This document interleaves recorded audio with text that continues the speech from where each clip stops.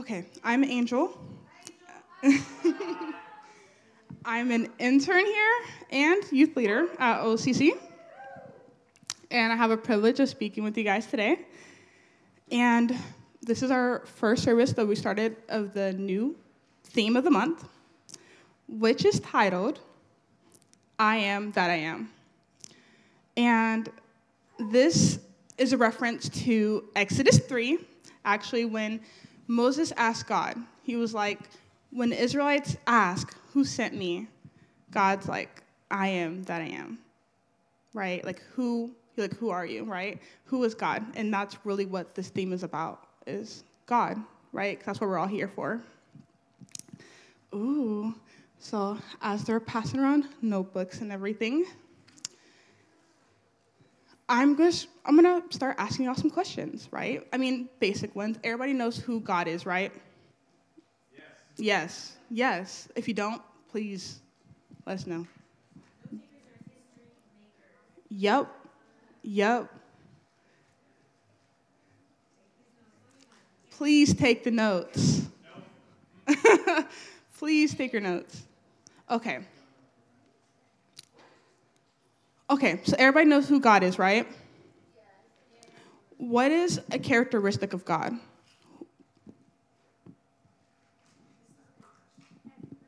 Yes. Yes. That's good. Yes. Yeah. Unconditional. Yep. Omnipresent. Faithful. I heard that. It's okay. Yeah. Yep. Yeah. God's all those things, right? One of the characteristics about God that I'm going to speak about today or tonight is how he is merciful and graceful, right? And that's the title of my message. So if you're taking notes, which everybody has notebooks, it's He is that graceful and merciful God. Do I need to repeat it? Okay. He is that graceful and merciful God is the title of this message.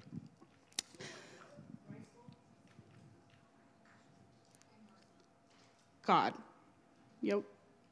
Okay. So, do you guys, okay, first we're gonna start off with mercy. Do you guys know what mercy is? Yes? No? Yes. Does anybody want to say what mercy is? Like, this definition in your own words. What is mercy? Yes. It's okay. Don't be nervous. What is mercy?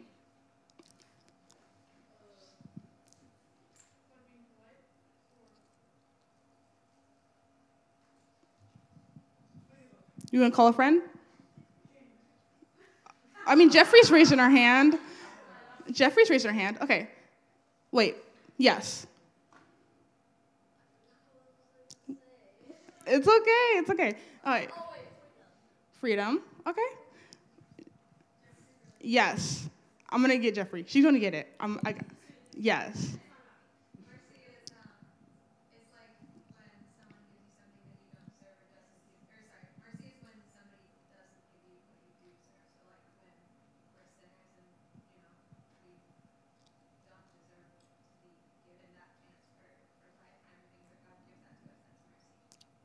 Bingo. Yes, anyone want to add? You had your hand up.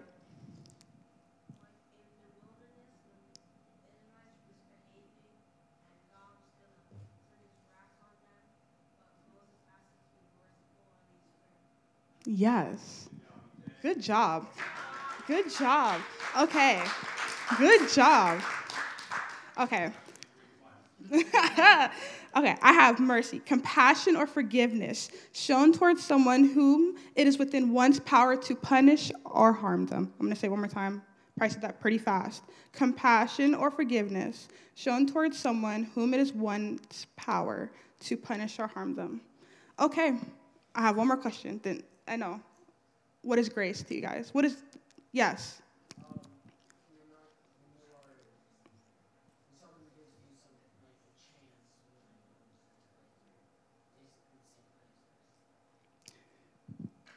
Yes, Jeffrey.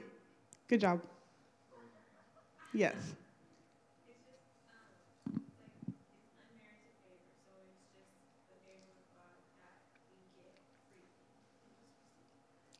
Bingo. That's good. Both you guys do so good. Yes. So grace. I would say like supernatural approval, acceptance, blessings, unmerited favor right? Something we don't deserve, but we get, right? God fills in every way we lack grace. So I'm going to be talking, I'm going to read through the story of Jonah, but like I'm going to skip the parts about Jonah. Like, so we're going to talk about like the sailors, and we're going to talk about the, the Ninevites, but like we know the story of Jonah, but we're going to see how God's grace and mercy shows up within this book. So, starting, okay, I'm just summary. You know, God calls Jonah to go to Nineveh because the Ninevites were very wicked, very corrupt, violent people. So, Jonah does not do that, but we know that he goes the opposite direction. But I'm going to start in verse 4 of Jonah chapter 1 which says, But the Lord, the Lord, the Lord hurled a powerful wind over the sea, causing a violent storm that threatened to break the ship apart. Fearing for their lives, the desperate sailors shouted to their gods for help and threw the cargo overboard to lighten the ship. But all this time, Jonah was sound asleep down in the hold. So the captain went down after him how can you sleep at a time like this? He shouted. Get up and pray to your God.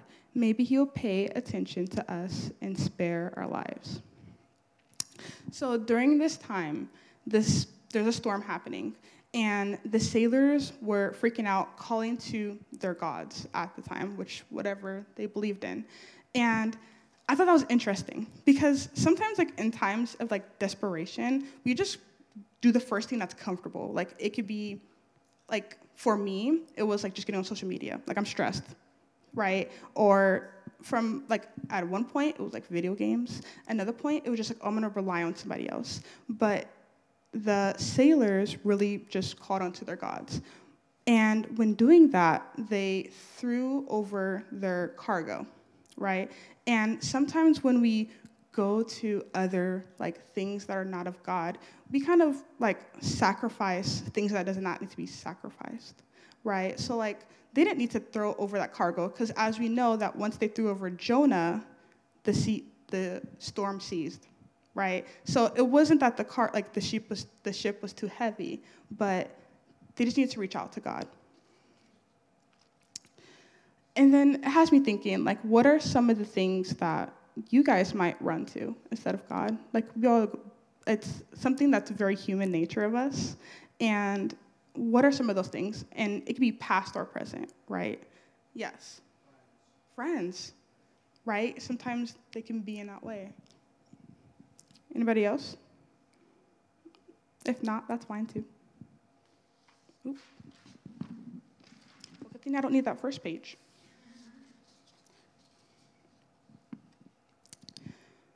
But I'm going to go to verse 10 now. Oh, wait, my bad. Verse 13. Instead, the sailors rowed even harder to get the ship to the land, but the stormy sea was too violent for them, and they couldn't make it. They cried out to the Lord Jonah's God. O Lord, they pleaded, don't make us die for this man's sin, and don't hold us responsible for his death. O Lord, have you sent the storm upon him for your own good reasons? Then the sailors picked Jonah up, threw him into the raging sea, and the storm stopped at once. The sailors were awestruck by the Lord's great power, and they offered him a sacrifice and vowed to serve him.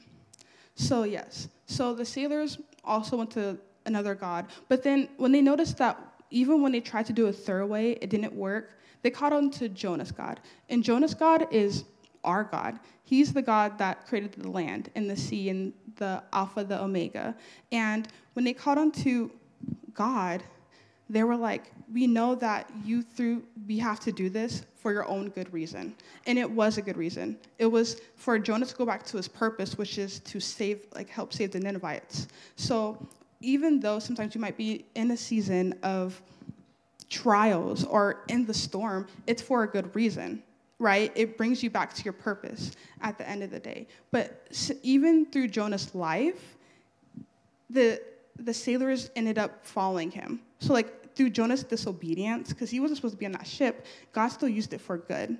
So the sailors saw the mighty and powerful God through Jonah's life, and they decided to devote their lives and make sacrifices to God because of that.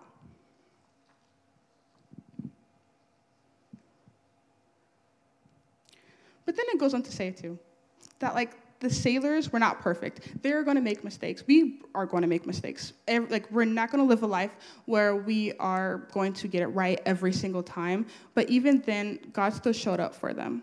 So it's like that's where God's grace comes into play because we're not going to get it right. We are going to mess up, but God still showed up for the sailors. He still showed up in a way like never before that they haven't seen before.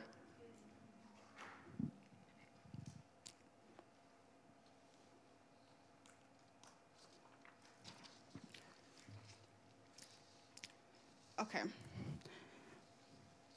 So, with Okay, so we know chapter two, Jonah, is Jonah in the whale, which I'm not going to read it, but it's like Jonah decides to finally come and come to repentance and like God use me. So within that, we're going to start at Jonah 3, verse 1. Then the Lord spoke to Jonah a second time Get up and go to the great city of Nineveh and deliver the message I have given you. This time Jonah obeyed the Lord's command and went to Nineveh, a city so large that it took three days to see it all. On the day Jonah entered the city, he shouted to the crowds, Forty days from now, Nineveh will be destroyed. The people of Nineveh believed God's message, and from the greatest to the least, they declared a fast and put on burlap to show their sorrow. When the king of Nineveh heard what Jonah was saying, he stepped down from his throne and took his royal robes. He dressed himself in burlap and sat on a heap of the ashes. Then the king and his nobles sent this decree throughout the city No one, not even the animals from your herds and flocks, may eat or drink anything at all. People and God alike must wear garments of mourning, and everyone must pray earnestly to God. They must turn from their evil ways and stop all their violence. Who can tell? Perhaps even yet God will change his mind and hold back his fierce anger from de- destroying us. Even, no, when God saw that they had done and how they had put a stop to their evil ways, he changed his mind and did not carry out the destruction he had threatened. This is actually important to know. It's a lot I just read. But the Ninevites were actually very violent and crazy. Like, they were murderers, they were they were the type to skin people alive. They were corrupt. They were doing witchcraft. Like they were, well, you might think the worst of the worst. But and they were this great, huge city. So you have to think about at back then, before Jonah, before God called Jonah to go to Nineveh, where Jonah is from was Israel. And Israel and the Nineveh or like the Assyrian Empire, I don't even know how to pronounce that, they were like arch nemesis. So imagine like your school, you know, you have like that rival team. It's kind of like that, right? So at this time, like God gave mercy on what you would call the most wicked city at the time. And so it's like his mercy came through because honestly, I personally think they might have deserved destruction, but I'm not God, right? And so that goes to show that, like, we're not going to compare, but we're going to compare that, like, whatever you're doing, I'm pretty sure it's not as worse as that. and so you have to think about, like, God's mercies are new every day, right? So it's like, honestly, all it just takes is just, God, forgive me. I repent. Even if you don't think it's that big of a deal or that major sin, we're always going to fall short. God, forgive me. I did not, I fell short again and again and again, and that's what, that's what I'm going to do, right? And so that goes on to say that, like, while we have grace, right, through our salvation and as we walk through the day, we also have mercy because we also deserve a lot, but we also have a lot of compassion and forgiveness from the Lord we also get. Jonah 4 1. This change of plans greatly upset Jonah, and he became very angry. So he complained to the Lord about it. Didn't I say before I left home that you would do this, Lord? That is why I ran away to Tarshish. I knew that you were merciful and compassionate God, slow to get angry and filled with unfailing love. You are eager to turn back from destroying people. So, even though Jonah was, you know, kind of hated at the moment and really angry, but it, Jonah knew the character of God. Jonah knew that God was forgiving, that he was compassionate, slow to anger, that he has unfailing love towards his people, to his people.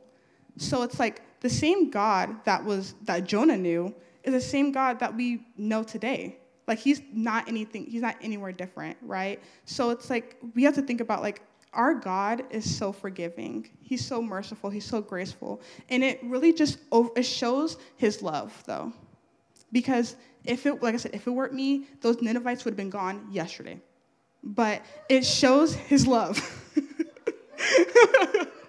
I'm just saying. I'm just saying. But it's like, it really does show his love. It shows it all together because, like I said, he didn't have to be merciful, he didn't have to be graceful, but like I said, he died on a cross for us, even though we are sinners. That's nothing but love, right? And so as we like think through our day to day and as we might think we're not even worthy which we're not but he still loves us and he still provides for us he's still faithful for us and he still does a lot for us like provide grace and mercy for us